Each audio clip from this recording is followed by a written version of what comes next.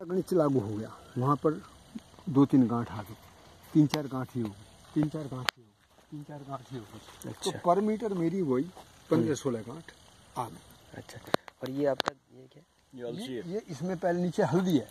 अच्छा पहले हल्दी है उसके बाद अलसी है? हाँ। इसमें हल्दी अलसी दोनों साथ है।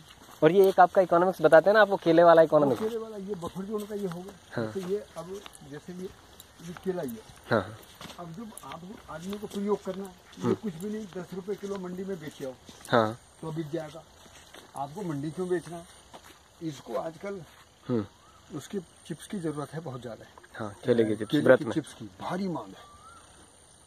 नहीं करेंगे आज कुछ नहीं करना तेल में तल के निकालना है। सुखाने उसको कुरकुरे को ही उसमें भर देना है नमक मसाले लगा के। ऑर्गेनिक वैसे हो गया। तुम्हें कोई साल भर रोकना है कि मुझे उस पर नाइट्रोजन भरनी है और उसको कुरकुरे को मुझे ऐसा बनाना है जैसे वो बड़ी फैक्ट्री बनाती हैं? आपका तो उस मार्केट में जाएगा जहाँ पर आपके पास में सौ दो सौ परिवार काम कर रहे हैं। यस तो आप उसी के बीच में से उनके साथ में एक अच्छे अच्छा संबंध भी बना रहेगा और खाने पीने की शुद्ध चीज़ भी रहेगी। अब बाज़ार में इसका क्या मतलब? मिलने का। तो वही केला दस रुपए में बेच दिया वही केला चालीस रुपए में बिक गया।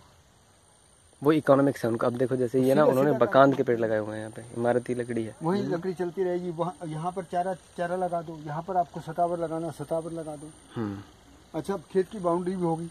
हम्म। सतावर के पौधे हुई जहाँ आप रुके हैं वहीं बिल्कुल बाउंड्री में खड़े हैं।